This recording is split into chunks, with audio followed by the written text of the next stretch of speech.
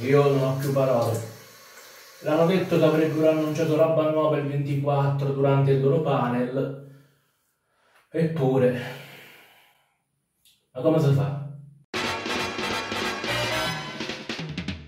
Che bella la community di Nazuma Eleven! Da tutto il mondo solo a spammare clown nella chat del TGS. Io sinceramente non mi capacito di come qualcuno possa andare a spammare nella chat del TGS clown perché hanno riservato quei 50 minuti al level 5 dove non hanno annunciato praticamente nulla. Che bello quando la community italiana e quella spagnola si uniscono per dare del clown al level 5.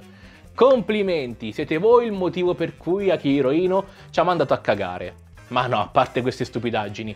Cosa è successo di concreto? Ero a seguire la conferenza di Level 5 delle 5 News che dovevano annunciare o riannunciare cose già uscite. È stato scritto su Twitter che avrebbero fatto questo panel di 50 minuti introduttivo al TGS per annunciare roba che avrebbero mostrato, ovvero Deca Police, Fantasy Life, Inazuma Eleven, Megaton Musashi e Layton no perché Layton uscirà nel 2024, non si sa bene quando, potrebbe anche uscire nel 2025 ma non lo sappiamo.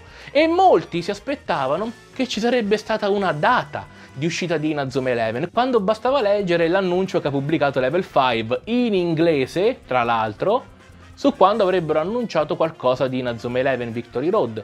C'è tutto il panel del 23, tutto quanto il panel del 24 e nel 24 c'è annunci su Inazuma Eleven Victory Road alle due giapponesi che sarebbero più o meno le sei italiane.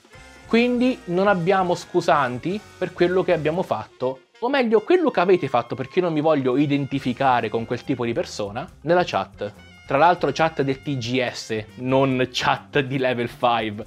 Era una chat del TGS, si sono ritrovati i clown in chat, ma secondo me neanche era moderata quella live. Ma comunque, capisco che quando c'è tanto hype per un gioco si possa un attimino andare fuori di testa e scrivere annuncio della data di uscita di questo gioco e poi ci perdiamo le informazioni che abbiamo sotto il naso, tipo appunto, ragazzi, news il 24, il 21 è solo un panel introduttivo a quello che abbiamo già fatto vedere. Quindi cos'altro abbiamo? Data di uscita quasi sicura, quasi certa per Fantasy Life e Decapolis nel 2023, mentre in Azome Eleven e Megaton Musashi se ne riparla quasi certamente nel 2024. Perché far uscire due giochi dalla stessa casa in tre mesi è tantissimo lavoro e tantissimo dispendio di energie e ti occupi praticamente due mesi almeno ti occupi. In Azuma Eleven era quasi certo che sarebbe stato rimandato visto che non hanno più fatto vedere il generico 2023 nel loro ultimo trailer, nei loro ultimi trailer. E soprattutto sul blog hanno scritto ragazzi stiamo in ritardo con la produzione ma procede spedita. Quindi dovrete aspettare ancora un po' prima di avere il gioco che vuol dire non esce il 2023 Megaton Musashi stessa cosa non esce nel 2023 hanno cancellato il 2023 anche se Megaton Musashi non l'hanno mai annunciato per il 2023 quindi Tant'è. Il 24 ci sarà un altro video dove passerò in rassegna tutte quante le notizie più interessanti e ve le darò in pasto. Ci sarà una data? Non ci sarà una data? Non lo sappiamo. La data non è più sicura il 2023. Stiamo procedendo con i lavori. Vi daremo nuove informazioni il 24 settembre. Leggetevi questa immagine che illustra il programma che faremo al Tokyo Game Show. Detto questo, andate in pace.